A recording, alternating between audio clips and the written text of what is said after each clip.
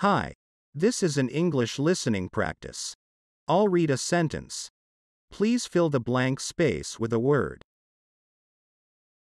I want you to know that we're committed to your dinner table and your lunch table. And if you want a burger for breakfast, your breakfast table, too. I am so proud of our production teams working around the clock to ensure our products are available at your local grocer. To ensure their health and safety, we have taken additional steps including social distancing wherever possible, daily temperature checks and health screenings, face coverings, increased sanitation efforts, and staggered breaks and start times to reduce the potential for congestion.